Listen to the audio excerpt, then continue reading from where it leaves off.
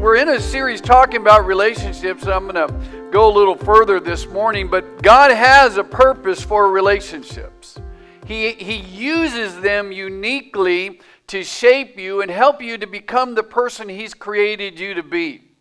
How many of you have ever had somebody divinely come into your life for the good? Now, we, we can score, we got a score list of all the guys who came into our life and gals who came into our life that left us in wreckage and threw us out the car door while they were driving and uh, left us in a mess. But how many of you know there are moments, if you're a believer in Jesus Christ, there, there would be moments where God sends somebody into your relationship and it, it changed everything. For you, you, you begin to trust a little more, begin to hope a little more, and, and all of a sudden, God uses them to help you get out of the hole that you're in. How, many of you would say you, you remember a moment, and it, it, sometimes it's grandma, sometimes it's somebody, but how many of you remember a moment somebody walked in your life in the most difficult time and God used them? How, how many of you know that? Have you had that experience? Yeah, God, God, uses people. He, he loves people, uh, but He wants somebody with skin on to come give you a hug when, when He's in heaven waiting to hug you when you get there, but He wants to use His family to come around you. We, we need relationships, but if we're not careful, we live in a world that says you don't, right? Uh, you know, just, you know, keep everybody at arm's length. Don't get too close. And whatever you do, don't share your feelings, right? If I lay my feelings out there, oh no, it's going on YouTube and then it'll go viral and then it's all whack. You know, it's crazy. When we talk about relationships, it's really weird. If, if you go online or if you go to Instagram, if you go to a Christian Mingle website, uh, you go to Facebook, there, there's what's happening now is what they call pseudo relationships. That simply means that I have a relationship through this electronic device. But the truth is, is I'm kind of letting you see the good side of me. Amen? You know, when I throw a pickup, uh, you know, a pickup, I, I shouldn't say like that. When I throw a pick, see, I'm not a techie guy. I'm already in trouble. I'm already in trouble. When I throw a picture, let's say picture, up on the web, I don't throw an ugly one up there. I might even soften up the eyes a little bit, you know, you know, shrink some pounds. From the kids tell me they can make me look good because apparently I don't look good. That's why they said, Pastor, we could make you look good, and we could throw a picture where you're this skinny, handsome guy. And, and I thought to myself, you know, you go on to mingle.com or one of those things, and I'm sure nobody says, listen, I'm broken. I've got emotional issues. I need you to come save me. Nobody says that. Nobody says that. They, they go on and they paint a picture of who they are. And they're wanting to engage in relationship with somebody. And I'm going to talk a little bit more about this either the week after, either next week, the week after that. But I'm going to talk about there's this gap between the relationship of my expectations from the, the person I'm friending or my spouse, there's this gap from what I expect from them and what I actually get. How many of you know that's true? Amen. The question is, what do you do with that gap? What is the gap with? Well, I expected him to come home, do the dishes and the laundry, make the bed, give me a kiss, and, you know, sing a lullaby to me as we go to bed at night. He comes home, and that's the expectation, and he crashes and burns. Amen. Every night. Then he has the expectations, and sometimes it's the exact same ones.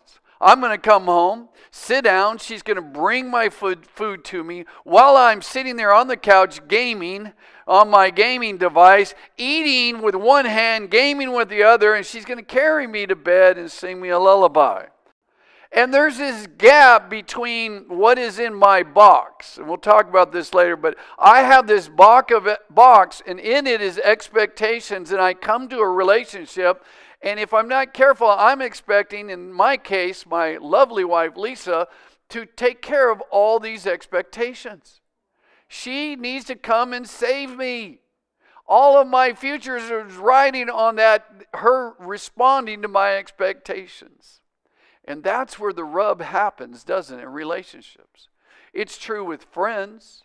not just marriages or relationships that are romantic, but it's true of every relationship. When I come to the relationship, I have a certain expectation, and if I'm not careful, if you're not meeting that expectation, then I just cut you off.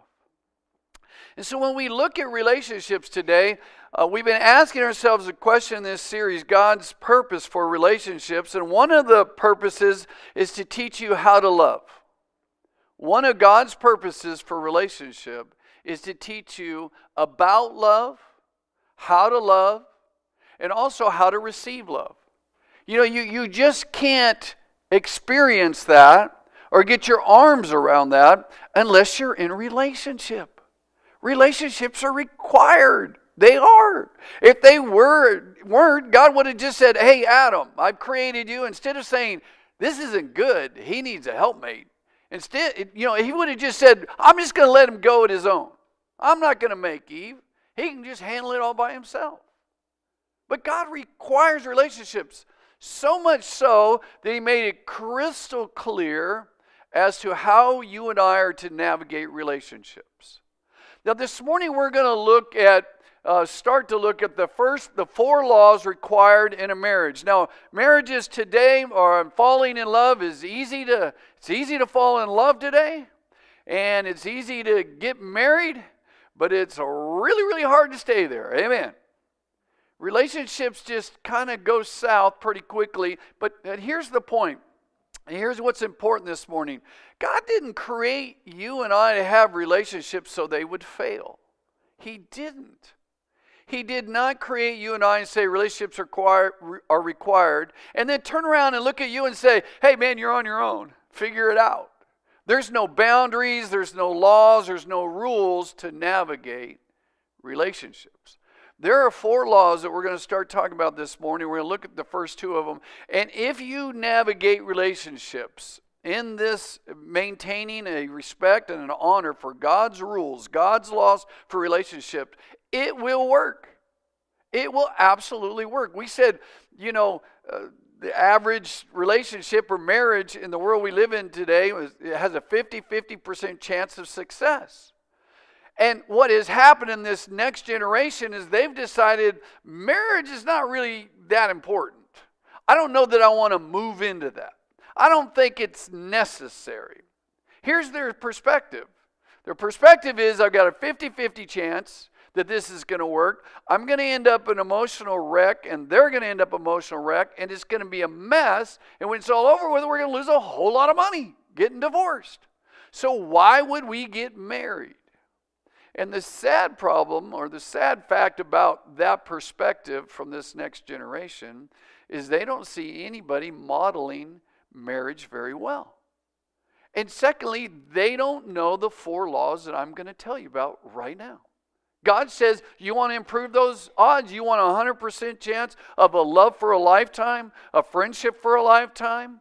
Then there has to be, you have to live according to these laws. Now, if you, again, go, you go to Southwest and you go online and you order a ticket between here and Texas, and it says, Hey, by the way, you have a 50% chance of making it.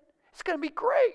It's going to be the, the thrill of a lifetime. She's going, No, I'm flying in old plane with 50% chance. I'm out. You see, we, we want to get on that plane. We want 100% uh, perspective that this is going to work. And it will if the plane has been taken care of, if they live according to the law of dynamics and they understand gravity and they understand how the plane is made. If they live within the boundaries of those laws, we'll make it to Texas. And so it is this morning that we're going to look at God's laws about relationships. And why this is so important is that it goes, it bridges every relationship. It has to do with my relationship with the Lord, has to do with my relationship with my wife, with my kids, with my friends. I need to navigate relationships with these laws in place. Now, here's what God does God says, I'm going to illustrate these laws in a marriage relationship between Adam and Eve. So, right out of the gate, God says, I'm going to give you the laws for, for relationships that will be successful. Jesus would later quote the passage we're going to read in the New Testament.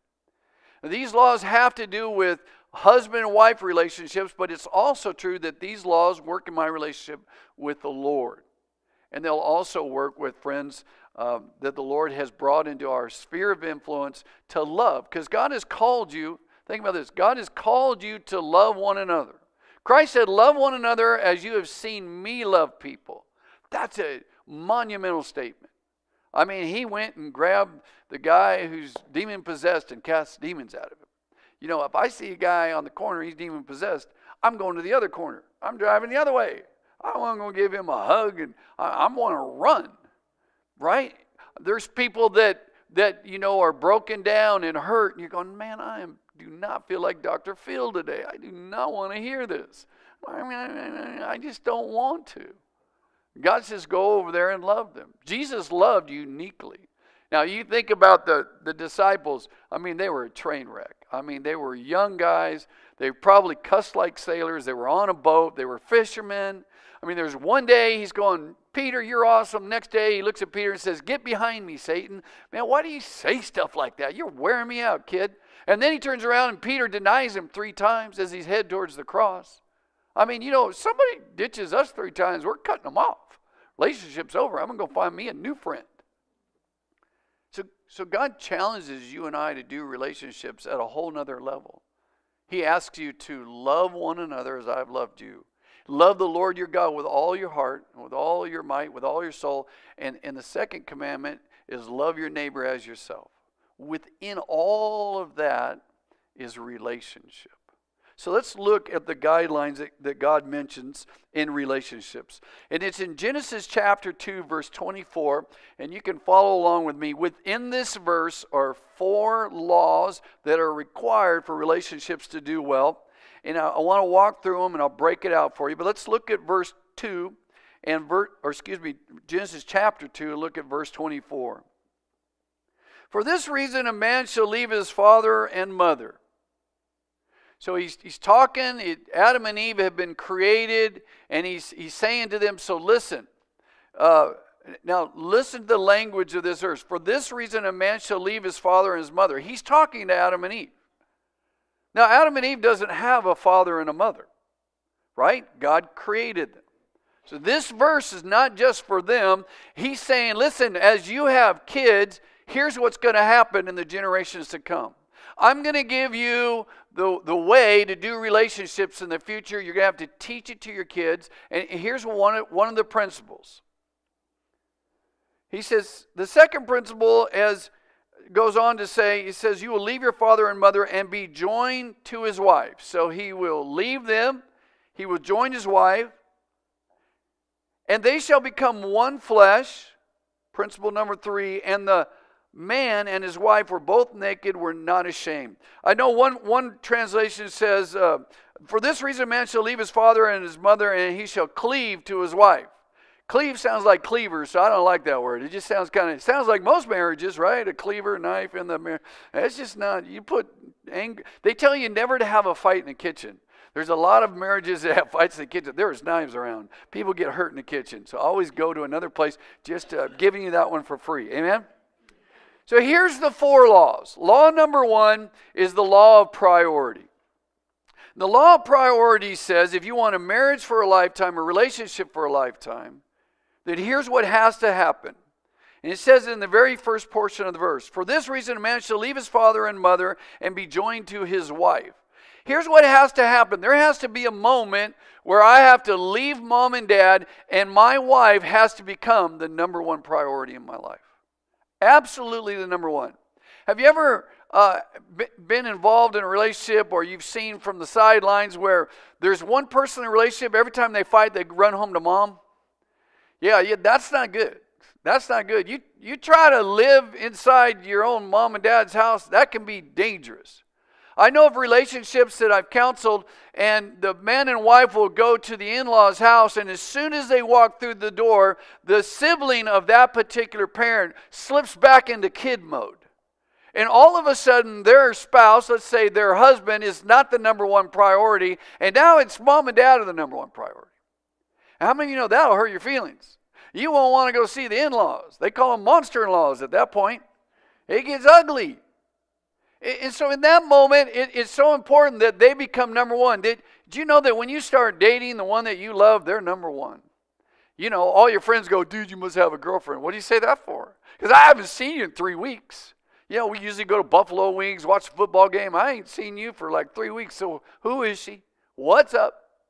You see, and in that moment, we have literally left everybody else and said, hey, mama, you're number one.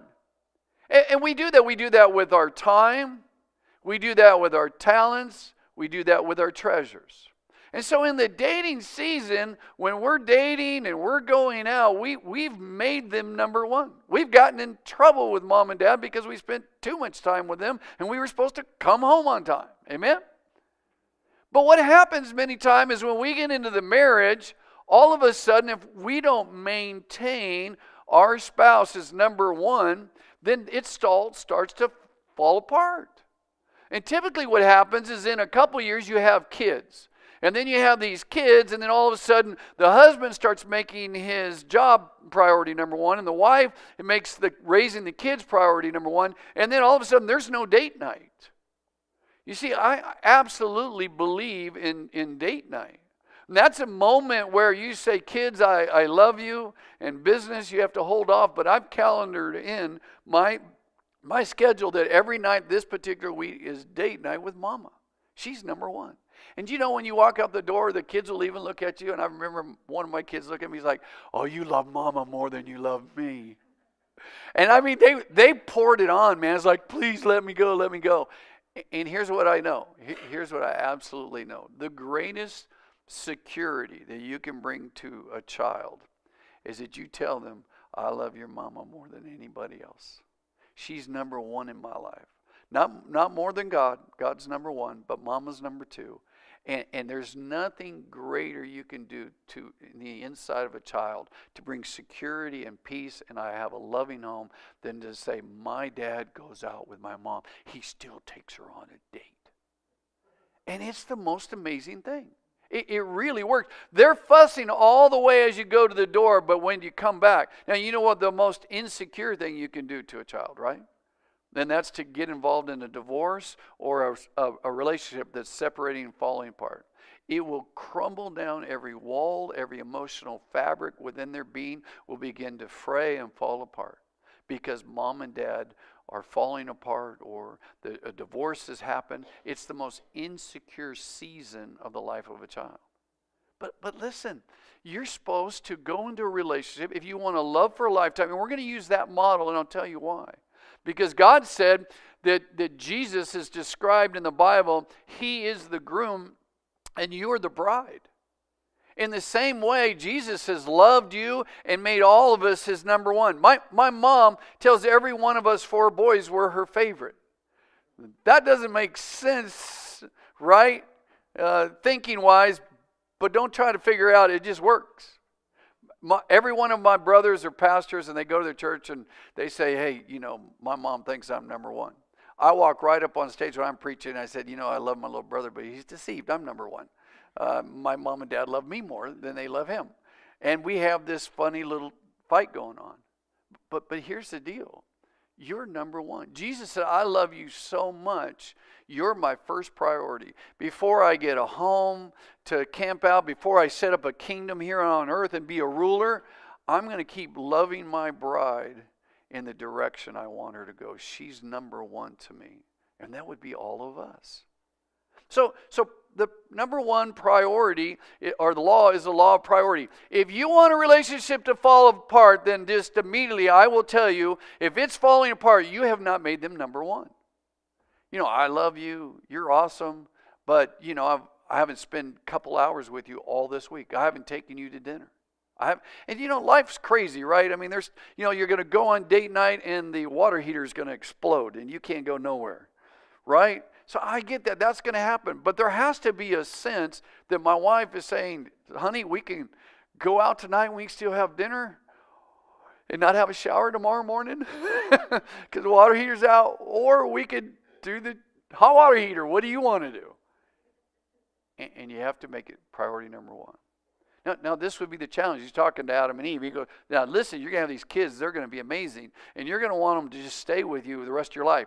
And better yet, uh, they, actually, they'll start eating you out of house and home. They'll drive you crazy. And then you'll want to, you know, nudge them to move out. You love the eaglet, but you want him out of the nest. Amen. And I hope he flies before he hits the ground and you you you push him off. But but then as, if you're not careful, hey, you know that that that lady you married, uh, you know, don't listen to her more than me.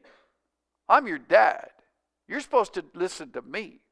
And there's this thing, God makes it real, real clear. No, when your kids grow up, they're going to move away, and she is going to be your son's number one priority. If you violate this law, it will fall apart on you.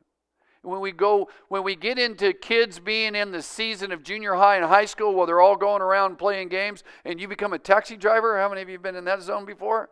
That's another season where it's terrible for you to have make your spouse number one. You're distracted, they become one, and life begins to get in the way.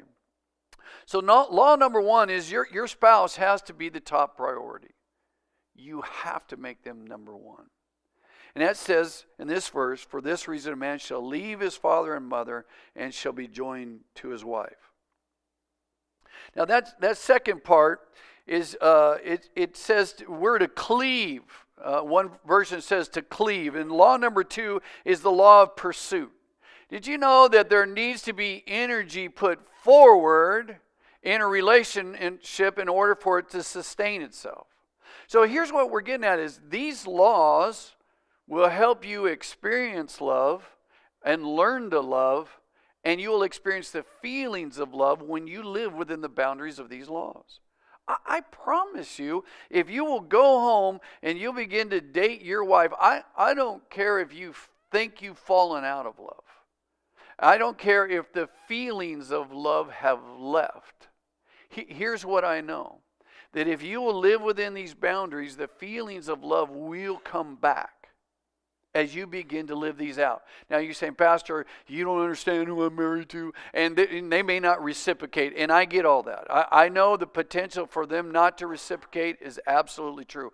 But if you will live by the laws, God will honor you and help you, and He will bid them to move back. Here's what I know it's very difficult to have the feelings of love from a wife that you've married to that's like Mother Teresa and just keep walking on her.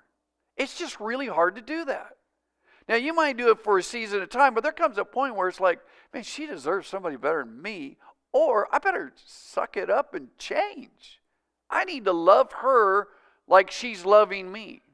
You see, the, to the degree that I feel loved or not loved, to that same degree, it encourages me to behave better in relationship or, re, or, or begin to behave worse in relationship.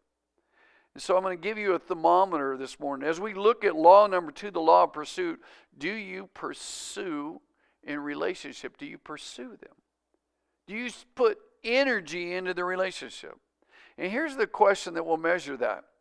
When you're in relationship with somebody you love, you're trying to stay in love, maintain the feelings of love, have a relationship for a love for a lifetime, if you're going to do that, here's one thing that has to happen. And I'm going to ask you the question, and you answer it in, in your own heart.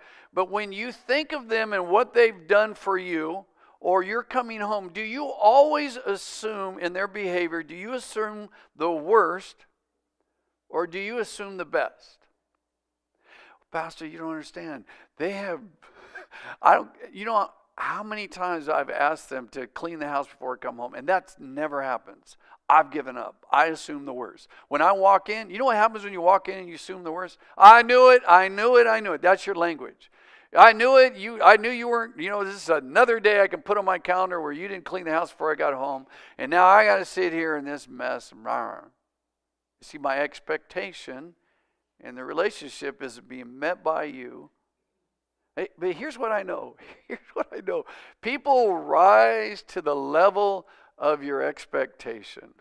They rise to the level of your expectation.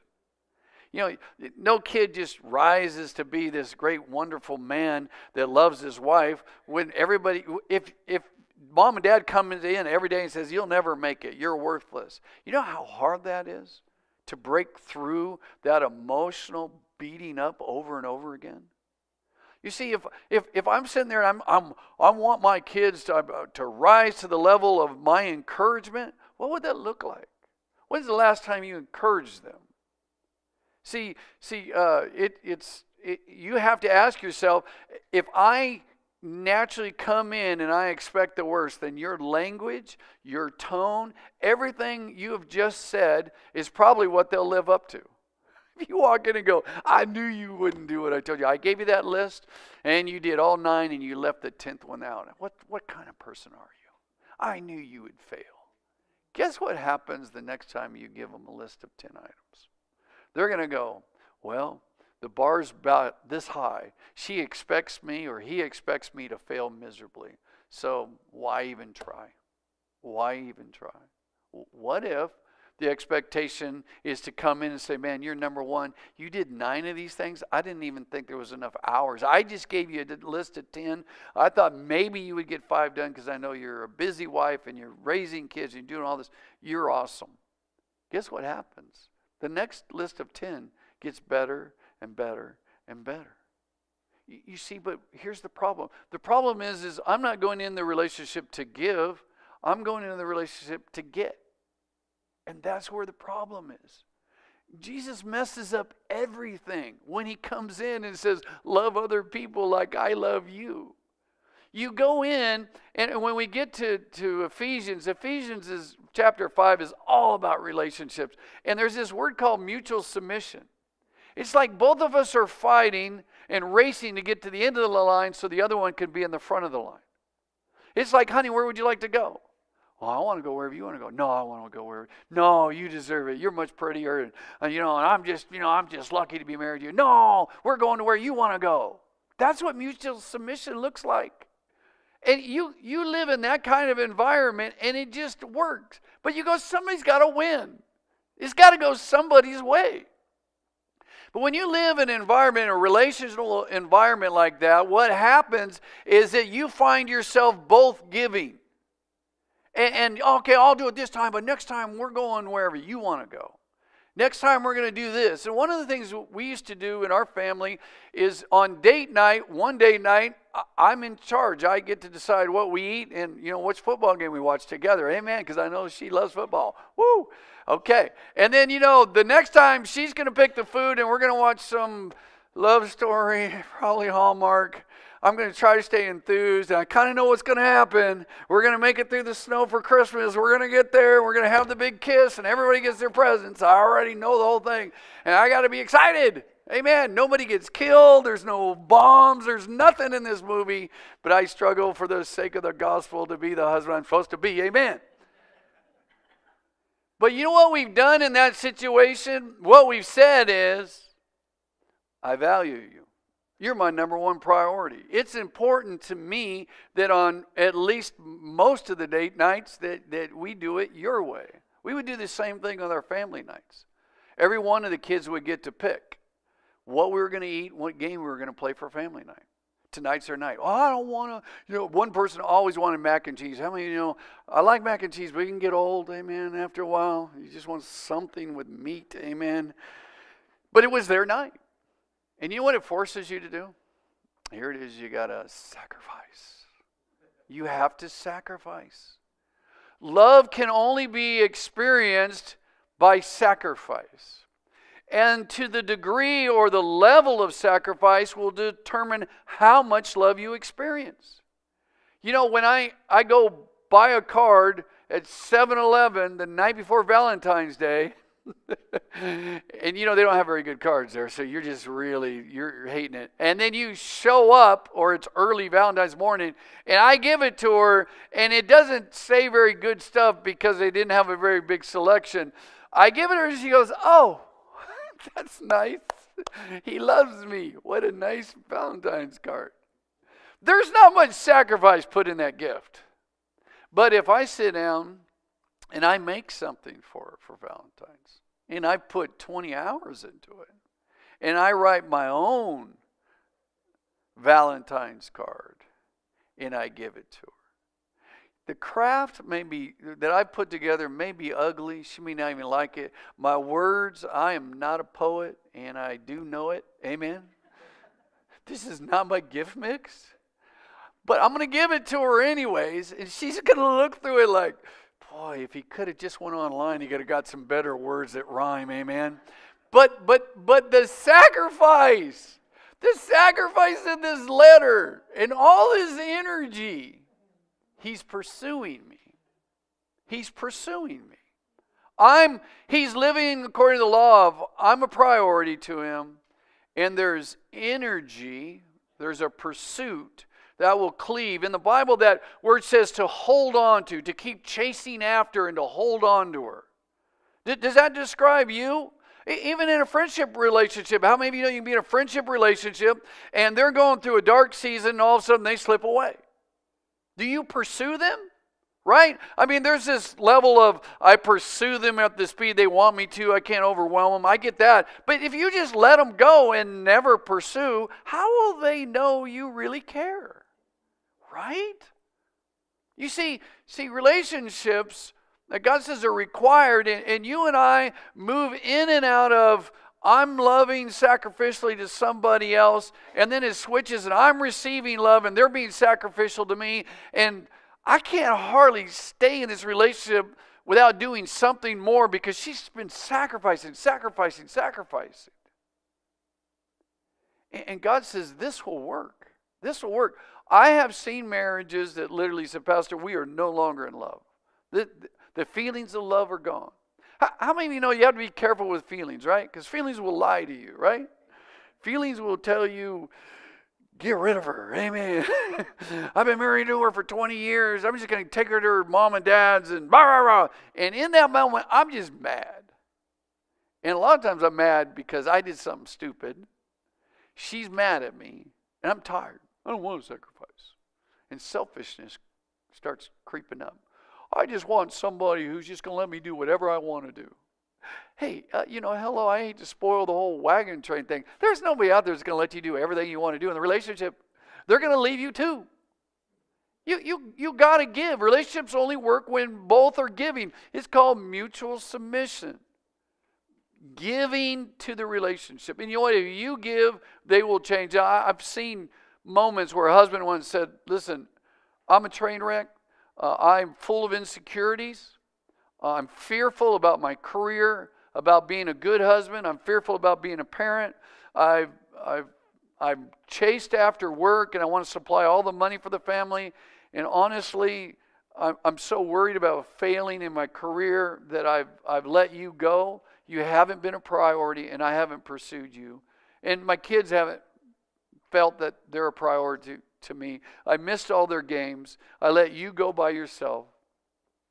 And I need you all to forgive me. And from this day forward, we're going to make less money.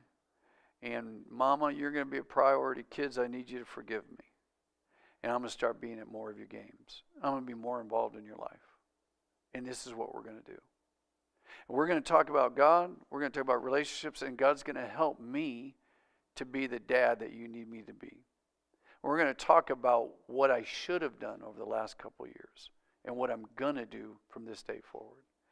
And I've watched a family that literally is separated, moved back into the same home, and now the feeling of, of love, the feelings of love have been restored because these laws absolutely work. I, I promise you they work. You say, Pastor, listen, the last guy left me. I'm a mess. The last girl left me. I'm a mess. Uh, if I'm absolutely honest, I don't think I have the ability to, to trust anybody else with my emotions. And, and God will tell you, well, you'll get to a spot where you're so lonely that'll change. Because I didn't wire you to be lonely. I didn't wire you. I didn't create you. How, how crazy would it be if God said, I've given you a need inside for companionship? And there are a few people in the world that God has called to be single their whole life. And that's a unique group. And, and God, uh, and in, in reality, they may be single in the sense of not getting made, married here on earth, but they have a, a, a love relationship with God that is, He's the groom and they're the spouse, and, and it's a love relationship to do His work. And the same principles are going on in their relationship with God. But if that's you, how tragic would it be if he said, hey, you know, go jump in this plane and take off, but there's no rules, there's no laws you have to obey. Just, you know, wing it. No, God said, I've given you some laws and they will help you. So, so listen, He wants you to, here to succeed at relationships. But, but you can get in your own way. And, and here's what I absolutely know I can put my wife first, I can put my kids first. Uh, and I can pursue them with energy, not just I'm going to sit around and watch the football game with them and tell them to be quiet through the whole experience, right? That's not pursuing my kids. That's sitting down watching The Lion King 18 million times. Amen. I can sing all the songs with them in Jesus' name. Amen. Because they're important to me. You, you see, the feelings of love come from and are birthed from sacrificial, loving behavior. If you love sacrificially, even somebody who's absolutely selfish and stuck on themselves, if you change in a relationship, they will change. And here's what will happen you can love somebody so well that they will either change or they will run away from you because they just can't stand you. Because every time I get with you, you love me sacrificially. I'm not doing it back to you. I feel guilty with I'm, when I'm with you. And it drives me so crazy that I'm either going to divorce you and run away because I'm tired of you being so nice and me not being nice, or it's going to compel me to go, Would you forgive me? I got to do this all over again. But the relationship will change if you change. But here's a question this morning do, do you do relationships that way? Do you stay within the boundaries of the law of priority? And the law of pursuit. God said this will work. This will absolutely work. And we have to we have to move in that direction. Would you bow your heads this morning? If you enjoyed the message today and you want to partner with us to reach others for Christ, click the link down below to give now.